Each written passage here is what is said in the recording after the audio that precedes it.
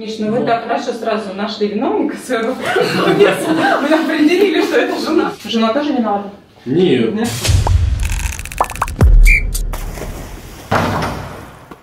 Я хочу, чтобы вы посмотрели это результат реальных участниц, которые проходят э, по моей методике процесс не только похудения, но и А оздоровления. такая была, такая стала, да?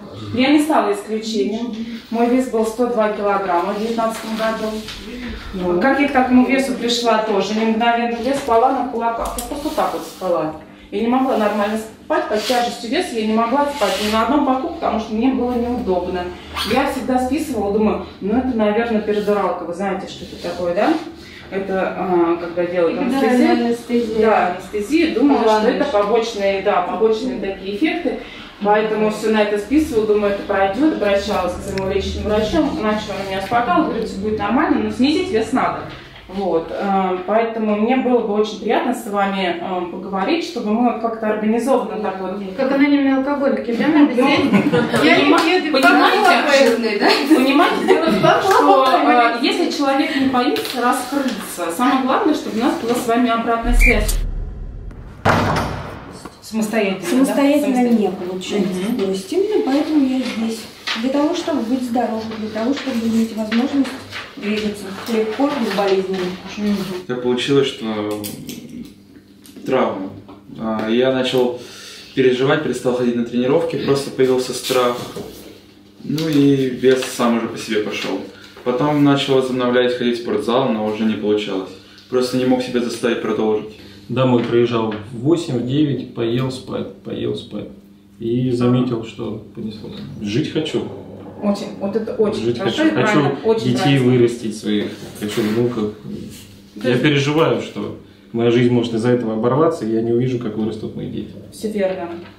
как бы худеньким никогда не был. Вот, ну, как бы вес держался определенно. То есть и спортом занимался, и работа была с физической нагрузкой связана. Последние 7 лет, наверное, офисная работа, тоже поднабрал, ну, где-то 15, может, за 5 лет. А потом бросил курить еще плюс 55 сразу.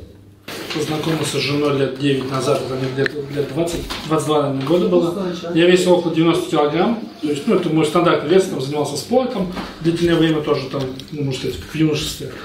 Вот, как познакомился с женой, она очень вкусно готовит, у меня полезла, полезла, и вот ежегодно я вот от 6 до 9 плюсую, плюсую. Миш, ну вы так хорошо сразу нашли виновника своего. Вы определили, что это жена. Я еще смотрела, когда ваше видеообращение, да. Жена во всем виновата. Ну, как обычно, это стандартная такая ситуация, да, в супружеских парах, что женщина обвиняет практически во всем. А кто воду пьет утром? Утром. утром. Я утром уже стою всегда, конечно, пью. Ну, я- не очень. Таблетки всё.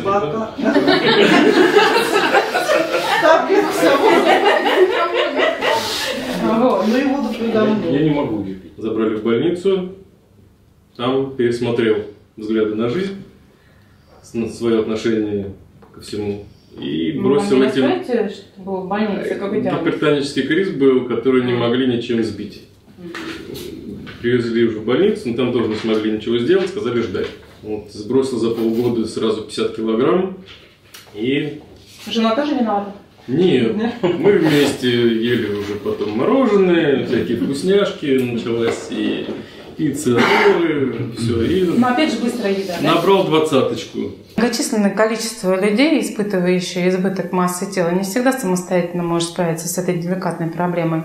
Я, как практикующий сертифицированный нутрициолог, приглашаю вас принять участие в своем проекте «Движение стройности».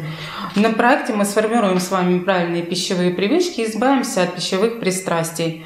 А, Все мои контакты под видео внизу.